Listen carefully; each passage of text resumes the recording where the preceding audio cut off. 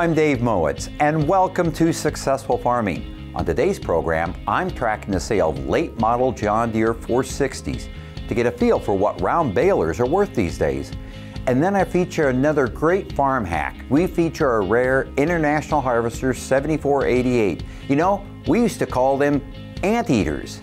And after these brief messages, I traveled to Northern Illinois to tour a shop edition which provided a family a much needed office. So please stay tuned.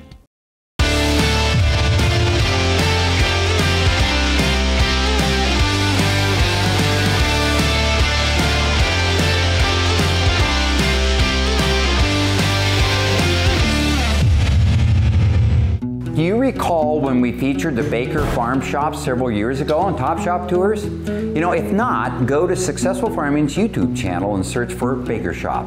Anyway, at that time, Mark and Kim Baker were contemplating an office addition to their Orangeville, Illinois shop. Now, as innovative as their shop was, I knew that whatever office they were going to build was going to be a winner. So when Mark told me the office was done, well, we had to return to their farm to see the results of their design efforts. So Mark, when we left this shop, it's been about three years ago, I was standing out the back door going, this is gonna be an office, but I had no idea this was gonna be an office. What a neat facility you added on here. What you did is you designed an office that fit your operation, and yours is just not a typical operation though. Like I say, you have corn and soybeans. Correct. You have a few animals here. A couple. Yeah, you're in dairy. We're, we're dairy. Yep, that is Right. correct. And then this year, uh, well, for the last three years, we've been uh, two years we've been actively growing hemp. Hemp, right? For which is, CBD uh, oil. So you have a farm operation with dairy, you have a retail operation with precision planting gear, and then you have this new venture of a new crop. So let's take a step back. How did you settle on size? Because you weren't sure three years ago what size you were going to go with. Yeah, it was really kind of determined by the structure that was actually laid down on the on the original uh, shop. Oh, okay. And so uh, the one service door and uh, uh, to the to the west, if you will. Right. And we realized that that's all the wider we could go on the office. So deep, how deep we could go, uh, determined on our county regulations and our township and how close we could be to the road. Oh. And so I, I took it right to the inch, and uh, that's where we came up with that measurements then. So Your shop sits this direction. You put the office off to the side. Was that a hard thing to marry it into the, the existing structure, or you found a contractor that just said, okay, we can do that? yeah, I, what I did is I ended up going back to the contractor that built our, our shop, and uh, um, we had them build the shell for this office. Oh. And so when they got done, it was just a, a shell, no insulation, no wiring or anything. Um, I had a buddy that uh, he's a full-time fireman, so on his off days, uh, I asked him if he'd give me a hand. You, So you dressed it out inside. we did the whole. I mean, as far as the wiring and uh, everything, everything you see, that's that was our design and our build. Yeah. The bakers opted for in-floor heat to make sure neither family, staff, or the numerous visitors that come to their office ever have to suffer from cold feet. Now, heating and cooling wise, you didn't actually put the vents in the walls Yeah. or in the floor. Yep. You went with the uh, open pipe then. Yeah. And you just like the look of that? It, it was more of an industrial look. Again, we wanted to, you know, we wanted to give this office a, a, a taste, a different look, and, and and I feel we did. You know, we it was another one of them struggles. What, how are we going to do this? And then I finally said, you know, I want to do this, and I think it's going to look great. Yeah. And so we went with that. Um, truly, that's really all that's for is the uh, for the uh, AC uh, central air. Right. And we did in-floor heat on this office. Kim and Mark made use of a wide variety of old farmstead materials to adorn their office, ranging from corroded sheet metal to aged barn boards, as well as aged barn doors. What makes this such a comfortable facility, too, is just the other nice touches. Barn board for the windows. You used old barn rail for the doors going into the conference room here. The doors slide on Yeah. the old barn door rails, Yeah. which you actually took out of a what 1880s barn. 1889, and it says on the other side of the door. It's really faded. It's hard to see, but uh, every every every piece of lumber in here has a story where we got it, how we got it, Yeah. you know, and uh, it's it, the whole thing has a story. I mean, uh, you know, the track that's in the ceiling with the chandelier, as I call it, The hay uh, track that yeah, you have over- right yes, here, and, yeah. you know, these are things that you know people look at it, and some people don't even understand what this is and never seen it, and then when we can tell them the story, and that's really what I wanted to do. I wanted to preserve a little bit of what our history is, who we who we are, and where we came from. The Baker operation includes sons Chad and Zach, as well as a growing staff to cover their different businesses. The Bakers opted to go with an open office design to accommodate their growing staff and for future growth. Or I bet when people came in here before even the shop was up, they probably went always went to the house. Yeah, yeah, it's Now they know to go here. Yeah. I mean, we, I don't know if we trained everybody or not, but even people that have never been here before just seem to gravitate and they know to come right to the shop and they see the office and they know it's you know.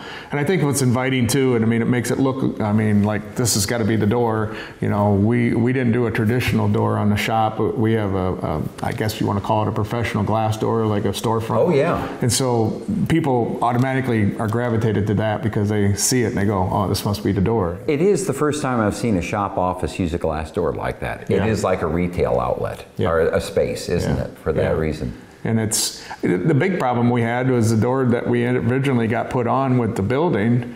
By the time we were done with construction, I could see so much wear on it that it wasn't going to last. And I said, "Eh, "This isn't going to work." So I went to our uh, glass company uh, north of here in Monroe and, and uh, talked to the owner, and he said, "Yeah, I can hook you up. I'll, I'll get you a door. They're not cheap, but they're nice." This was an investment, and it's not like we're making a whole lot of money these days on the commodity prices the way they are. So you were staring at a, you know, an investment to make.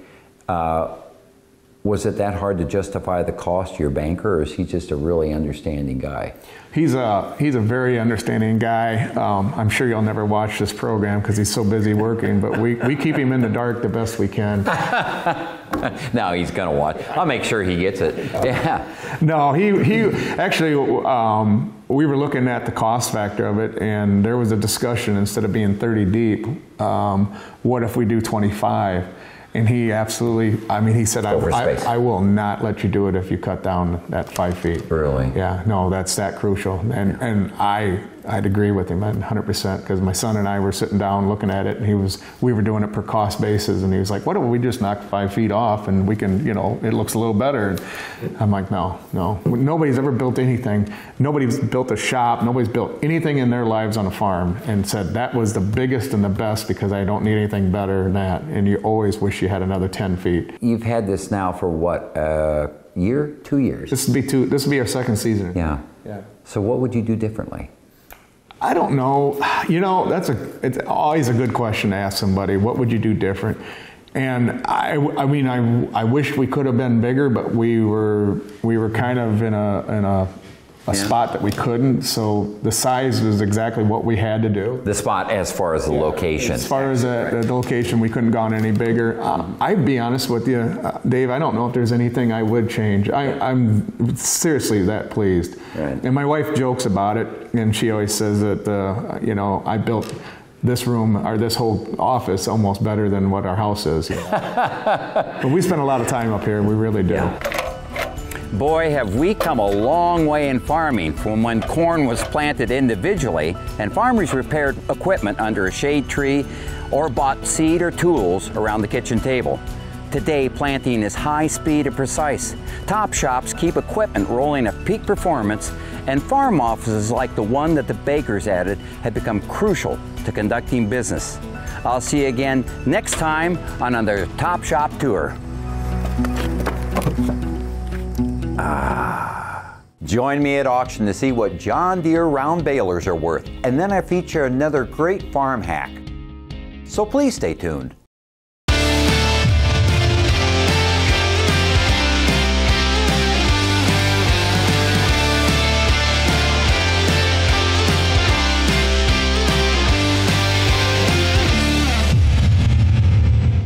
If you've been considering upgrading your round baler that has gotten long in the tooth and short on its tines, then this 460R may be just the ticket. Now this is the first of John Deere's new baler line when it was introduced in 2018, and it features the Mega Wide feed system. Other enhancements include an operator's monitor and Deere's exclusive Diamond Tough Triple Weave belt. Now I expect bidding on this particular 460R to be brisk at a consignment sale being held by Cook Auction. However, it's turned out 2,600 bales. It's a lot of bales for its age. Now the reason you want to know about baler production is that it has an impact on pricing. And speaking of prices, I'm going to go track down Scott Cook at Cook Auction, ask him what the trends are on late model round balers these days. We're talking with Scott Cook at Cook Auction. We're looking at that 460R baler. That's just a 2018, but has 2,600 bales. So it must have been a commercial hay producer selling that? Uh, I would guess so. We don't know that for sure. Right. Uh, but anytime you roll up 2,700 rolls in one year, obviously they've been using it a lot. One thing I know concerns farmers, and that was when we got into the premium balers and the compatibility of the monitor and the tractor, or the ability for the baler to talk to the tractor, what we call it, called Isobus. You were telling me guys were shying away from premium balers, Deere premium balers, because they wouldn't plug and play with the tractor very well. And there's a workaround to that.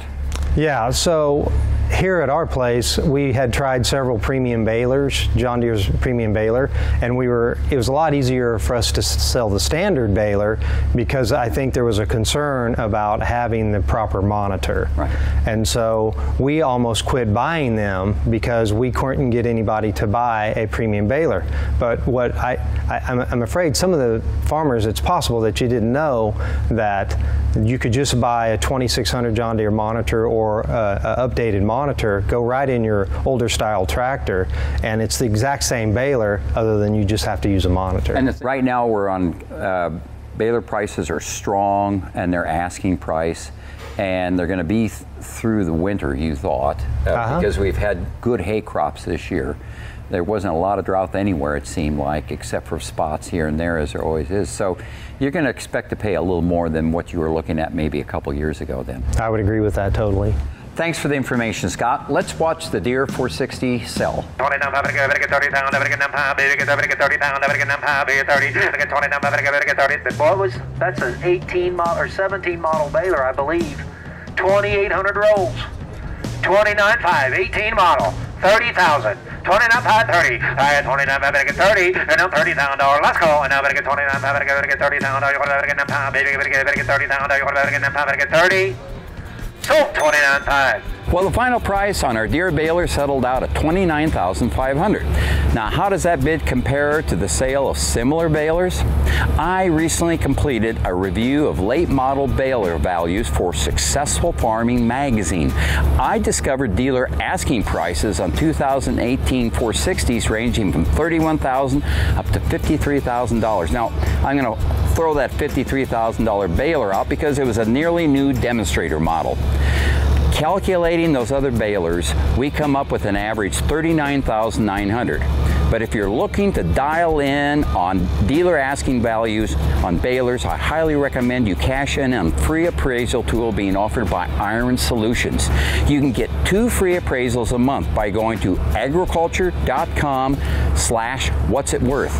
I conducted a search of balers similar to the one we featured today on Iron Solutions and found a total value average of 37,673. Pretty accurate today's final bid.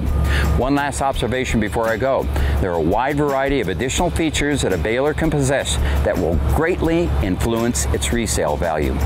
For more information about Cook Auction, please go to their website at cookauctionco.com. I'm off to cover another sale. See you next week on another Steel Deals Report.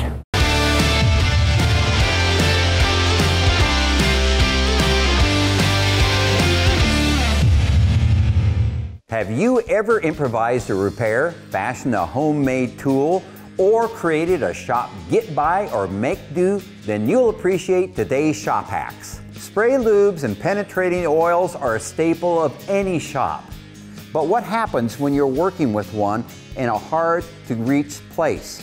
Well, what you can do is you basically take the straw, you cut it in half, and then you get some fuel line from any auto parts store or a lot of hardware stores. You cut it to a length, you take an awl and ream it out a little bit, and then you insert the hose into the fuel line. Now, the next time you have to reach a hard to reach spot in an engine cavity, you can do so with your flexible straw. Are you like me and always losing the straws that come with penetrating fluid or spray lube? Well, I've tried taping them on, as you can see, and that's cool for a while. But oftentimes what happens is the tape loses its grip and now you've lost the straw. What I did was create handy little straw holders. Basically, take the tape off, and I find these little office rubber bands. You can get them at any office supply store, and they work great. You can put one or two on, great for holding the straw.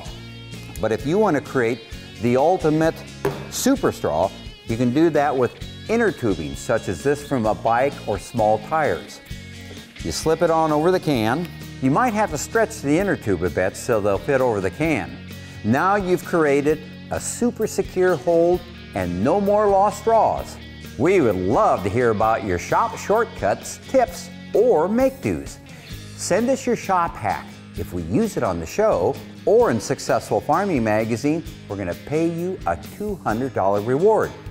Send us a detailed description and images to the link below. I'll see you again next time on another shop hack.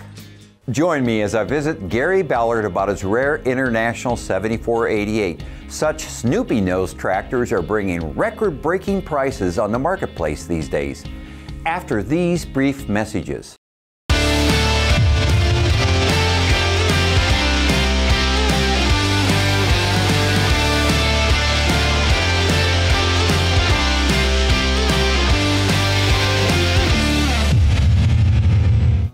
Our Ageless Iron feature tractor this week is actually two tractors.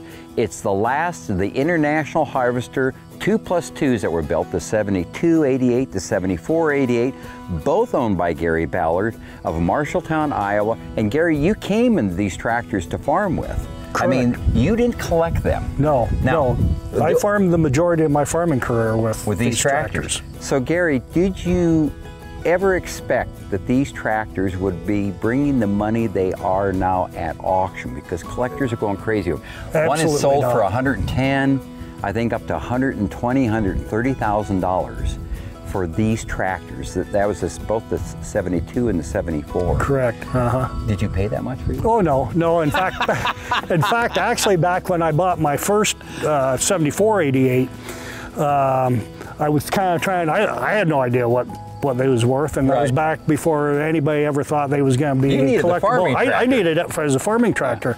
I never will forget. I went uh, to, up to my local dealer, and he says. Boy, he says, I don't think any two plus two would be worth any more than twenty-five thousand dollars today. So your 7488 is rather unique because that's the hand-built prototype That's tractor correct. that they had in Hinsdale where they were testing. They, they built that tractor in Hinsdale. It actually came down the, the Rock Island line Yeah. as a 5488. The back end of it did, and once Oh. it got that part of it assembled, they shipped that out to Hinsdale, and they they hand built the rest of the tractor off from that, and that was a hand built. Uh, 7488 that was actually built back in 1981 whereas the production run of these were actually in August of 1984 so that was hand built at, at Hinsdale. It spanned uh, 739 hours between Hinsdale and the test track at Arizona. Uh, being tested, and it was tested under different horsepower settings and everything because they had actually had plans to come with with uh, bigger models of that tractor, and so after Hinsdale, in Arizona, then it ended up at the Nebraska test track, and that was going to be the tractor that was going to be rated under Nebraska uh, test conditions, and it was at Nebraska test track when the merger Occurred. of, occurred of K, K, uh, in 1984 when Tenneco bought International Harvester. The people at the Nebraska test track called the powers to be and said, "What are we supposed to do with this tractor?" And they said, "Scrap it." They said we've got some still at the plant that we're going to that we're scrapping. Scrap it. So they signed off to a salvage yard up in Grand Meadow, Minnesota. But a guy grabbed it from there. Okay, I grabbed it Kept from it there, intact. farmed with it to till the point when uh, his farming operation was changing and he was going more into confinement hogs and stuff, and and had it for sale, and that's a, when I came across it. So I have to ask, here you're sitting with some of the rarest tractors in the IH line. Are you still farming with them? I've got an 818's moldboard plow.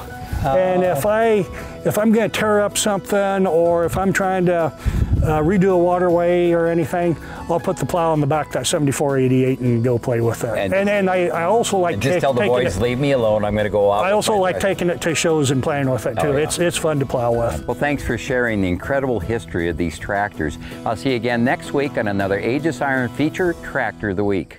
Please join us next week for another outstanding show. Jesse Scott features our latest evaluation of UTVs on the Farm Test Team Report. And then I head to auction to feature one of the best values on late model machinery today mid-sized tractors. And then I feature another great farm hack. This show's shop innovation makes handling grease and oil a lot less messy. And the shark farmer Rob Sharkey joins us with his unique view of agriculture. See you next week right here on Successful Farming.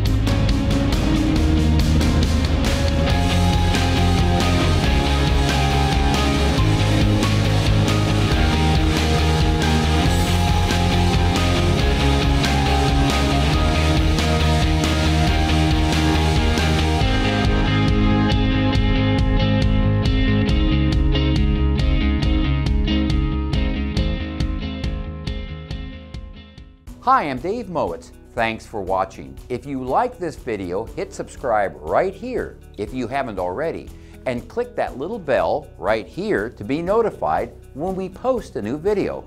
And click here to see more great episodes from Successful Farming Television.